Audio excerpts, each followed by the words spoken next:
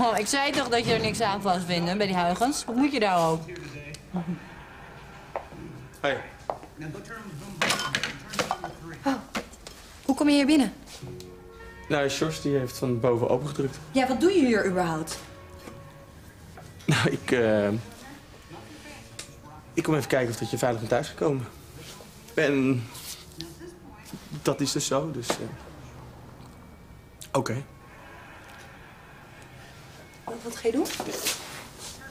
Nou, ik ga weer weg. Nee, echt niet. Eerst kom je hier gewoon onaangekondigd binnen, terwijl je me net hebt weggestuurd. Waardoor je me ziet als Ma Vlodder. En dan ga je weer. Ik, ik begrijp geloof ik niet zoveel van Je begrijpt jezelf niet. Je begrijpt niet wat je hier komt doen, terwijl je me net hebt weggestuurd. En dat is ook logisch, want eh, het is ook allemaal helemaal niet logisch. Je Maar, praat te veel. ja, maar iemand moet toch praten, anders dan blijft het zo vaag. En het is al zo vaag. Tenminste, het is vaag omdat jij nooit antwoord geeft. Ja, sorry, begin je nou weer? Wat kom je hier dan doen? Ja, ik kom kijken of dat je veilig bent thuisgekomen. Het ergste is nog gewoon dat je het zelf gelooft. Je bent zo bezig in je hoofd dat je zelf niet doorhebt dat je hier bent omdat je me wil.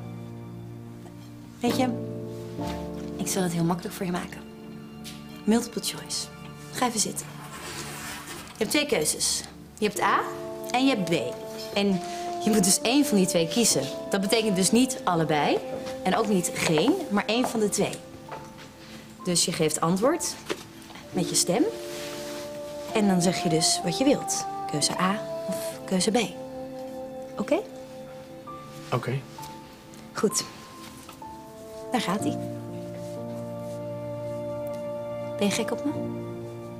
Ja of nee? En A is dan ja en B is nee. En, en als je B gaat zeggen, kan je meteen vertrekken, want dat hoef ik niet te horen. Dus is het antwoord A of is het antwoord B?